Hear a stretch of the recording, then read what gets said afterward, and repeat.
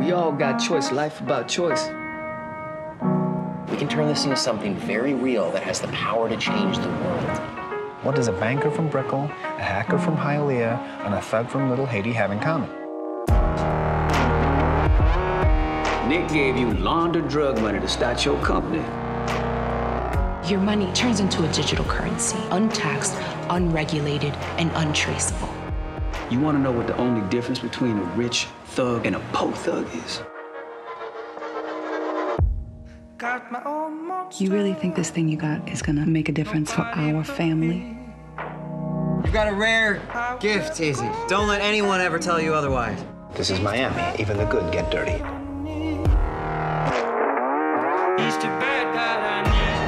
There's gonna be people gunning for us. Have I what? This is my company, my baby, my code. This is your mess, and I'm gonna clean it up for you. So you're welcome, but be on your way. He never leaves you, even after you're square. We're gonna change the world.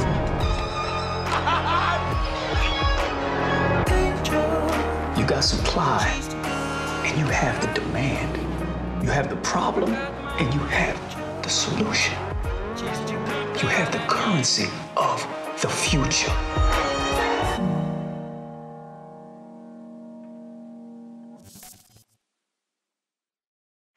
Welcome, Adam. Hello. Thank you for having me. We were just talking backstage about that intense trailer. Yeah, yeah, I like it. Very, very music, highly musical. Um, um, yeah, yeah, I, I, I enjoy it. I think they did a great job with both trailers. Do you think it gives everybody a sort of idea of what they can expect from Startup? Because this is definitely a uh, a ride. I've seen the first few episodes, and it's it's intense. I think so. I mean, I don't know if you concur, but I, I think that if you like the trailer, you'll like the show. Uh, and it, and the show, like the trailer, I mean, even though it's a very um, heady concept and uh, uh, uh, you could you could get into it in a number of ways. Uh, it is a very, it, it also is a very, very, even more so visceral show. It's it's um, energetic and propulsive, and uh, it definitely captures a feeling as well as you know. Again, I mean, it's a very cryptocurrency and global economics are heady uh, intellectual concepts, and we dabble in them, but maybe even more so, we dabble in emotion. Uh, I'm curious how you studied up on your cryptocurrency knowledge because Me that's too, a lot. that's too. a lot to learn. Bitcoin and uh, Um, I, yeah, yeah, I know, I know, and I, uh, I'm terrible at it. I'm, t- I, I- I don't know nearly as much as I should. I know a little. I would, I would put you all to sleep so fast if I, if I tried to tell you what I understand about it. Um, I think the interesting thing, there's many interesting things about it, but I think one of the conceits of, of cryptocurrency that's real interesting is that it doesn't seem to have any central governing authority. Um, for Bitcoin, anyways, this mysterious guy invented the code and put it out there, and then um, it's up to the public at large to keep the software current and running, and they all democratically. Uh, you know, kind of decide how it changes and what happens, and and and it's a in some ways a beautiful concept, and there also are inherent flaws in that. Um, in terms of our show, one of the things that uh, the characters keep saying is that um, in, in the other trailer they said it as well, but um, that we don't have many a bunch of a lot of the world doesn't have access to banks, but everyone has it. Almost everyone, and even third world countries have cell phones. And if you have a cell phone, you can have access to to, to um, you know, you can be able to transfer money and and uh, have a bank account. So, um, you know, there's a democratizing element to it, and there is a altruistic element, at least in theory, to what these guys are trying to do. So tell everyone a little bit about your background. Uh, Put my wallet in my front pocket because it. can't sit. I'll hold it for you. um, tell me about your character Nick Talman and where you kind of fit in uh, with the story of the show. Uh, I am a uh, uh, an investment banker. I'm um, and uh, I'm trying to get out from under the shadow of my crooked investment banker father who uh, launders drug money and other uh, illegal dealings. So he's dirty, and um, I'm trying to be clean and, and do something positive, but um, that's a short-lived notion.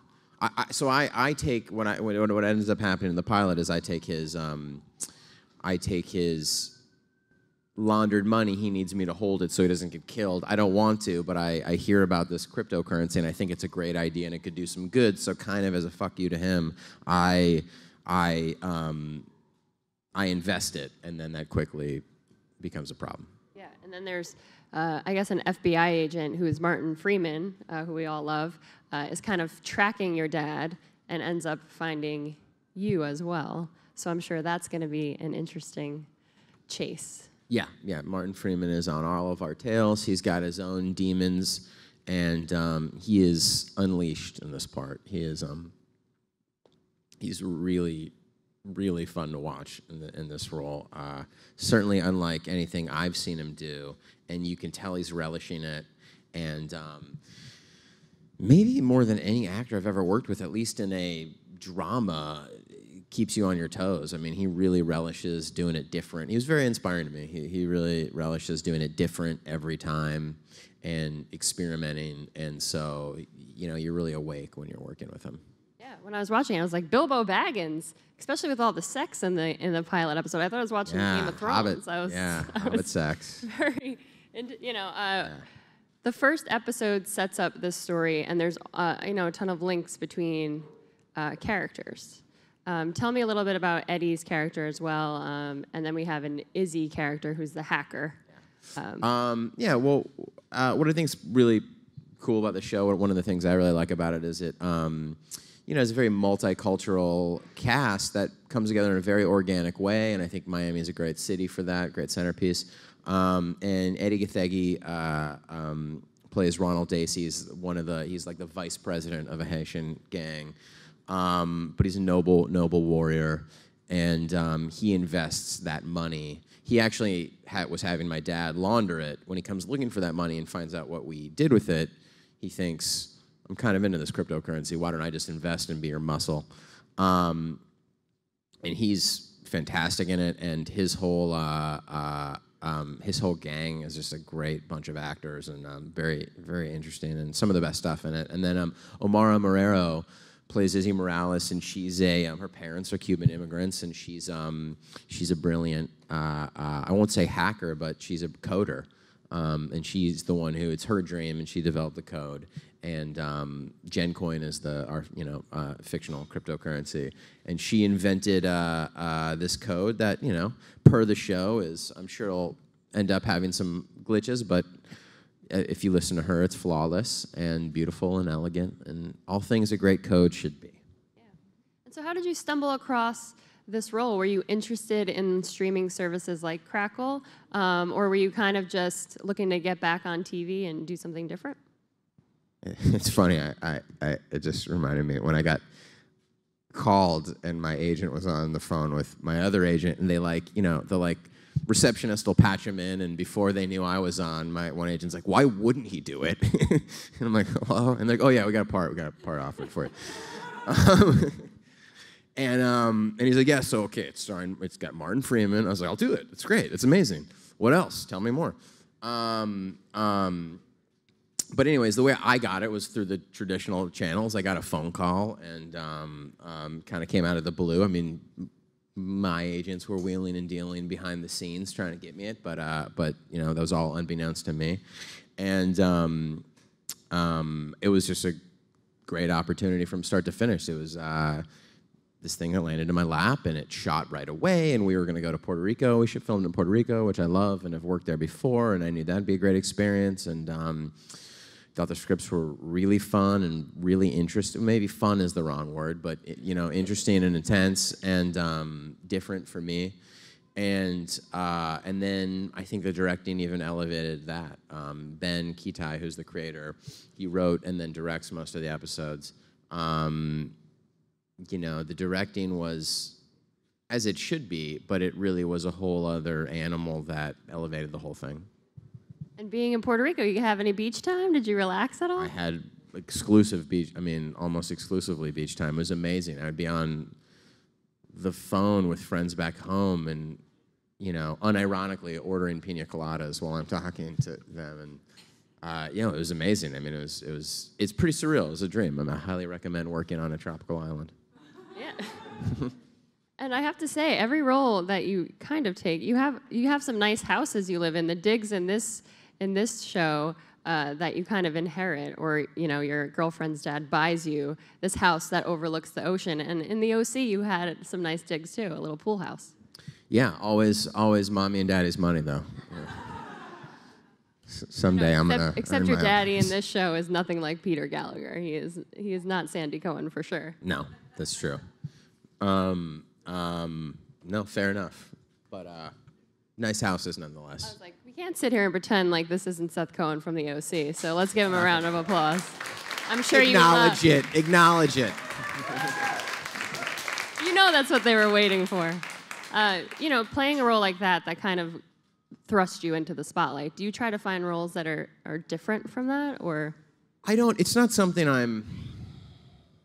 You know, I mean, yes. On one hand, on the other hand, um, just by virtue of being older and it's a happy accident that nothing has, to me, come too close to it. In fact, I would. uh, In some ways, this character doesn't seem like it now, but there were moments filming it or early on where I thought, is it a little close actually? Is he, you know, I mean, I, there's this dynamic where I am this sort of nervous white guy in the, not, you know, um, um, in the midst of, uh, water polo team? yeah, well, well, violence that I'm unaccustomed to. And, and on one hand, I thought, well, I'm, I'm falling. I hope I don't want to fall back on too much like shtick I've done before. But a, I tried to be very unshticky in this as as possible, as much as possible. I tried to not ham it up or go for a joke too much. And then also, um, the tone is so different. The stakes are so heavy that it just naturally took care of itself. And, and even the filming style is so different that um, I didn't have to worry about it. But, but funny you should ask because in a weird way, this, this, I had my concerns, but they were unfounded. Yeah. I saw a little bit of a, a Seth Cohen thing, only because, uh, you know, his, his personality, I guess, but then the fact that this guy who's just living life, normal life, runs into this crisis that kind of changes the whole way his, you know, lifestyle pans out. Um, so tell me about approaching Nick Talman as a character and what you kind of wanted to bring to it, uh, you know, when you read it on the page, how you wanted to bring him to life. Yeah. Well, as I said, I, I you know one major thing was I didn't want to. You know, I thought this is a very grounded show, and I just just you know I I, I love going for a laugh, but don't don't. and um, if they come naturally, fine, but just just don't. And then. Um,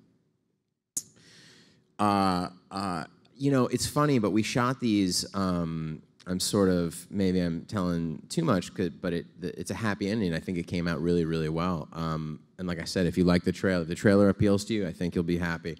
But that said, um, we shot 10 out of order that were, you know, we shot them out of order and they were being written in the middle of that filming them. So, so it was a lot of, it was a bit chaotic and it was a lot of on the job, as it always is. But, um, you know, it was a lot of on the job figuring out what his um, psychology was and and and who he is. And um, I have mixed emotions about him personally. I, I think um, you know he's a lot of talk. I mean, you know, I, I think he's a bit of a hypocrite, but um, that doesn't mean that. But maybe that's interesting. You know, that that doesn't mean that he's not an interesting character. Um, but he is. He does professed to be a do a self-proclaimed do-gooder, and um, I see scant evidence of it. But uh, uh, like I said, that you know, some self-delusion is um, you know makes for flawed and interesting characters. Yeah. Do you can you name a few shows that you think if people are into that kind of show, they'd totally be into startup? Uh, Big Bang Theory. Uh, the uh, what's the no? Uh, uh, um, yeah, uh, good question. Um, well, I'll tell you. On one hand, what's really I think really neat about it is I do think it has a feel uniquely its own. I cannot name. I mean, obviously, I would say Mr. Robot. If I had to just pick one, Mr. Robot. That's a thrilling, dramatic, uh, uh, tech savvy show. Um, but this is very much its own beast, and I know that. Um, and a lot of that comes from the directing style. Quite, honest, quite honestly, I know that um, Ben really, really likes and uh, City of God and Amores Perros and and um, 21 Grams, and he likes a lot of the uh, uh, South American filmmakers, and so it's got a real indie feel that I think is, um, like I said, I think it's pr- pretty unique. But um, um, but yeah, if I if I had to say one, I guess Mr. Robot is the clear is the clear closest relative. But yeah, I think it's its own it's its own beast, which is great. I know. I got a little like uh, Dexter, Miami feel. Maybe a little Wire in there. Uh huh. yeah, I think the wire. Well, that's funny. I think the wire definitely. I could see that. Um, yeah, I mean that's the other thing. It's a lot of different worlds that converge, but also um, maintain their you know identity. So so you have a lot of shows in there in a way. How's it different for you filming, you know, a network show like The OC or you know you're on the League to filming a streaming uh, series uh, like this? How is the experience different? Um, you know, I mean, in terms of the league and this, none in the sense of, I mean, the one thing about something like the OC or anything on network where you're filming 20 plus episodes a season, it's just schedule. I mean, and I think, I think it hems you in creatively too. If you've got to make so many, you just have to go. You have, you know, you must be formulaic. I mean, every show has to have some formula. A story has a formula, but if you're doing 25 a year, you have to fall back on formula in a way that you don't have to as much if you're doing 10 or even 16. So I think the creative freedom and the um, and, and and the fact that you can avoid burnout in a shorter season is and yet still do plenty of story and it still feels like a long time and you really dig into it and you get to know the characters and hopefully do more and i think that's sort of best for all the creative people involved i think everyone prefers that um, in terms of streaming versus not unnoticeable when you're an actor i mean no difference Same thing, except some of the episodes are released all at once instead of one. I by one. mean, that's just changing it. Yeah, every Yeah. day, but it, but yeah, it certainly doesn't make a difference when you're when you're on set. is this a show we'll be able to binge watch, or is it going to slowly release? Oh, you can binge. yeah. Are you a binge watcher yourself? You know, uh, not not really. And I, I um um occasionally, uh, but I'm if, if I'm being perfectly honest, I'm I'm getting I'm starting. I'm I'm I'm um I- love the idea of it. Don't get me wrong. I love the idea. I love the idea of just like tuning out for two days and doing. You know, um, um, it- it's great to be that immersed in something. Um, but I don't know. I uh, Well, you're a little busy, you know. You're a dad. Uh, when do you have time it's to no sort of fatherhood is no own? excuse. You need to binge. um, um, yeah, but I'm on uh, episode three of Game of Thrones, so so uh, Of the first yeah. oh man, are you liking it? I'm it? late. I do. You know, it took me forever, and I would always drop into a scene and be like, I like the idea, but I don't know what they're talking about, and I don't know. And three in, I'm like, I get it. This is really cool. So I'm, I'm excited. The, the, the, the last thing I truly binged, and it was just because it was short, so I could, was that O.J. Simpson documentary, which is like my favorite thing ever. Um, that was Binge worthy. binge worthy. I other than that, it feels like binging is a little work to me. I got to be honest. I love Breaking Bad, binge that, and still I was like, this is let's do another, you know. And and um, same with. Uh, did Twin Peaks. That was great too, but it, but but that OJ was the only thing that actually I've binged that just felt like candy that I was like never bored for a second and you know. Do you feel that you have any new OC fans that are currently binging your series? Um, I think it went. Didn't it, did it just go to Netflix? Did it not, or Hulu or Hulu? That- yeah, yeah, yeah. So, pro, you know, like you'll know, and yeah, yeah, yeah, be like, yeah, Seth yeah, Cohen. yeah. Um, probably, but but I, I can't say there's been an, a, a, a different. You know, I can't say I'm. I've noticed. Yeah. Well, you haven't aged today, if I'm going to be honest, sitting right next to you. Thank you. It's all the. It's all the surgery. This is like my little teenage, like, oh my God, I'm sitting with Seth Cohen. How? Yeah. Are you? Yeah. I won't. We That won't get like into my- ages, but I was, was gonna my say. thing. It yeah, was like yeah. the OC. What was that? One Tree Hill Yeah, yeah, yeah. days. I'm. See, I'm older. I'm. I'm. That's how I would feel if I was sitting next to Jason Priestley. Yeah. but you're not, unfortunately. um, so you've done TV, of course. You do movies. How do you go about about picking? Oh, I'm gonna, you know, shoot for a TV show, or I'm interested in a movie, or I'm just gonna take a break altogether. You know, I, I um, um, the breaks come plenty whether you'd like them or not, so I don't have to worry about taking a break. Um, um, some people are more fortunate, but um, I there's there's not that much rhyme or reason to it, to be quite honest. I kind of you wait and then you get a call and you go, that sounds nice. I would like I would like to do that, and then you don't get a call for a while, or you get a call but they're just you know they're not reaching that that bar creatively or otherwise and um, um, yeah they're- the- you know i mean really it's like i like to work i enjoy my job and i don't doesn't make much difference to me uh, the format exactly so when something um, you know that that that meets the standard comes along I'm, I, I readily accept Yeah. And uh, I heard you're gonna be in the new Chips movie that's coming out next year. Yeah. Uh, directed by Dax Shepard. Yes. Uh, are you guys done with that? How did that go? Yeah, that was a thrill. That was really, really fun. Um, I think uh, I think everyone will be. I won't say pleasantly surprised because maybe you just expect it to be great. But I think Dax.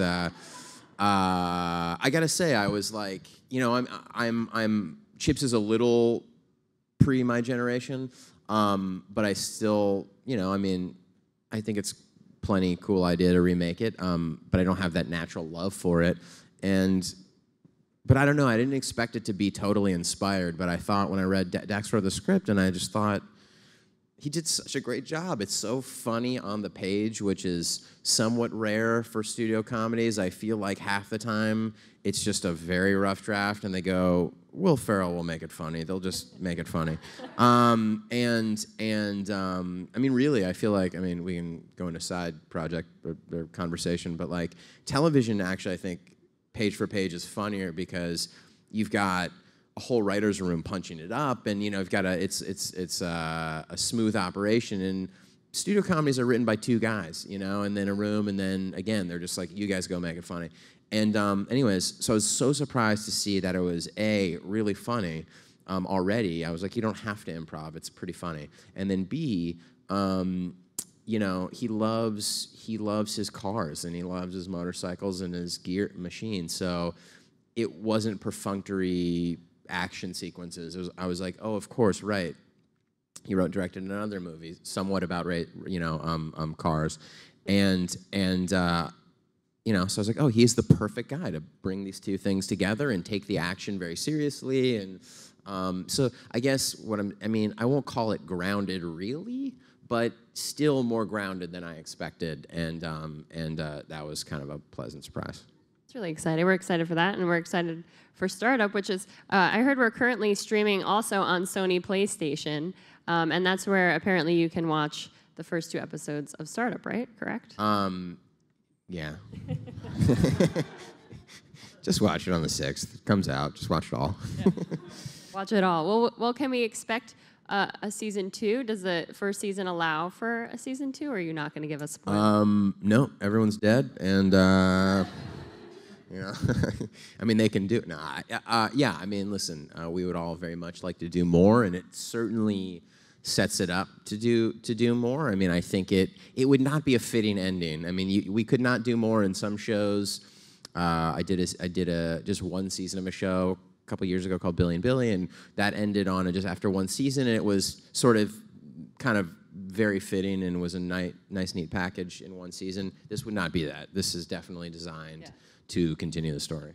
Let's hope it does, because I hate when freaking shows end and you're like, I don't know what's gonna happen Yeah. now. My life is over. At least I am, guys. Come on, get in with me. Uh, it's audience Q and A time, so get ready for some questions. Uh, Okay. Here we go.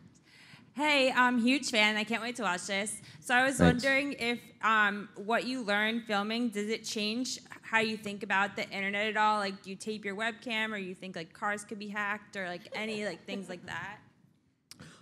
Hmm. Great question. Uh, I do, well, yes. I mean, I do, my ears like prick up when I hear Bitcoin and, you know, I listened to a podcast about it the other day just because, you know, I, um, so my attention is, is placed on it more. Um, in terms of my feeling about it all, to me, technology is the most relevant question. You know, it's, it's, um, it's just the most relevant question about anything right now and i think it's we're living in the most fascinating time and it's terrifying and it's exciting and i try not to it's so it's so terrifying and amazing how fast technology how much we're how much we've seen and how much we're going to see and it just keeps speeding up and it's very unknown and it's the it's it's it's like i said it fascinates me and i try not to put too much of a I think we all have a tendency to view the time we grew up in as the most harmonious time between humanity and and technology and nature. And I try to go, hey, maybe even in 50 years we'll all be living in pods and you know it'll be like and and you know, I mean, I, there's one episode of Black Mirror. I did I did I did binge that. And um and um where they're living in these little like they're almost living in an iPhone. And on one hand, I'm like, I could see that. That seems like a, you know, maybe generations away, but that seems plausible. And at the same time,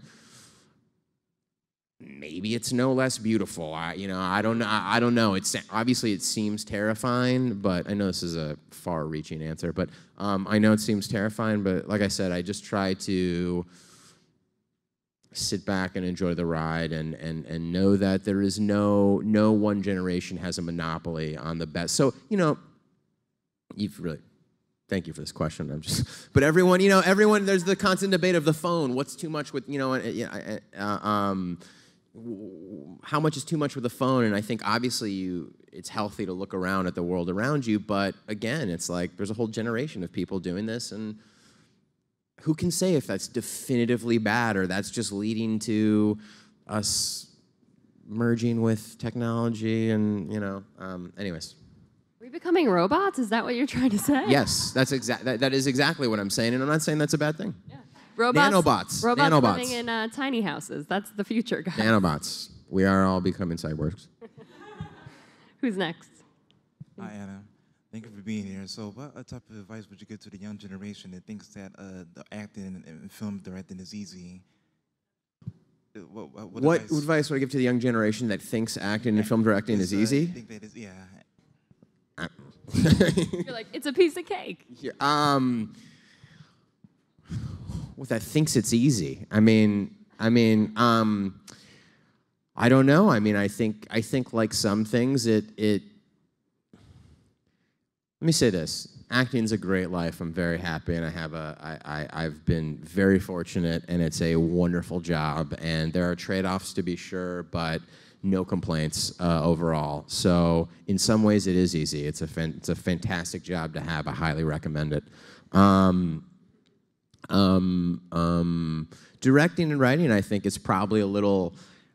It's not harder. I mean, I think they're probably equally as hard to do on the highest level, but I do think you have to self-generate more if you're a writer. I mean, I, I'm really um, in awe of writers who have to go then into it. They have to they finish, they write and direct a movie or just write it and they go, okay, that's done. I got to do my next thing. I got to go in a room and stare at a blank screen and manifest this entire thing and, and also hope that no one else writes that and makes that idea in the, in the midst of me working on it for a year.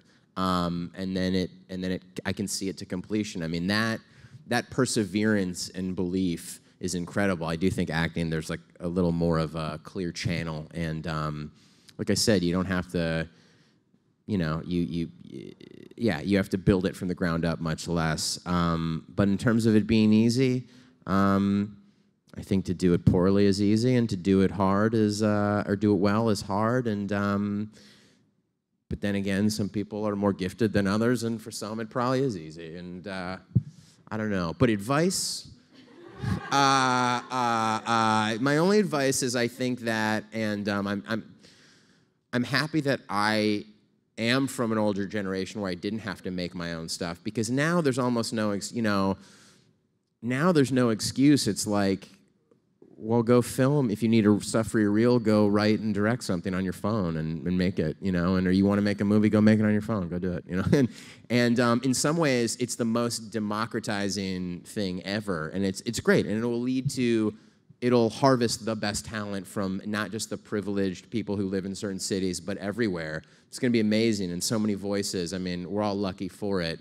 Um, um, um, so I think my, I guess my advice is the technology is out there. So now, now you can you can you can start making it yourself. Um, and like I said, I say that as someone who broke in earlier and didn't have to do that. Oh, you don't make movies on your cell phone? no, and I don't think I'd be very good at it. But uh, but I'm in awe of people who can. You were saying there's some pros and cons with your job. Um, do you find that you know when you were at the height of the OC and the fame was overwhelming? Do you think fame has sort of changed and that culture has changed a bit, or do you think I it's do. I do. I mean, I can't say if the culture as a whole has changed, um, um, or I can say, but I won't tell you. Um, but I do think. Um, I do think. That show came out in 2003, and that was like in terms of how fast technology is moving. I mean, or maybe not. That's a long time ago now, but still. You know, no Twitter, no TMZ. Like it, it was just a different. I think that would be so different now to be on something like that. Um, you would be s- so much more bombard, bombarded, so much more, um, um, and have so much less privacy. I still feel like I had a fair amount of privacy. Um, so you know, on one hand, I don't envy.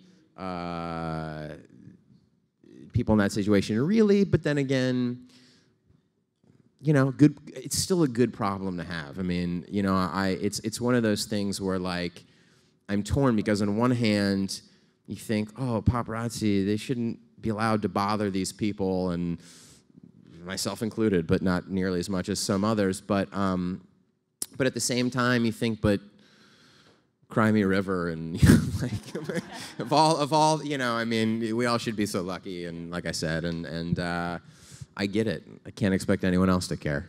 It's a little easier now because with Instagram and stuff, you guys can just post the pictures you want people to see, and maybe people won't haunt you as much. That's true, but on the flip side, I think there's probably more paparazzi because there's more places to disseminate the photos. You know, earlier it was like, well, if people or Us Weekly's not going to buy it, there's no market, and now it's like some someone will give you 50 bucks. Well, if you want to see Adam, don't look at his paparazzi photos, but watch Don't look at 'em. guys. September 6th. Thank you so much for being here. you very much. This is very fun. Thank you.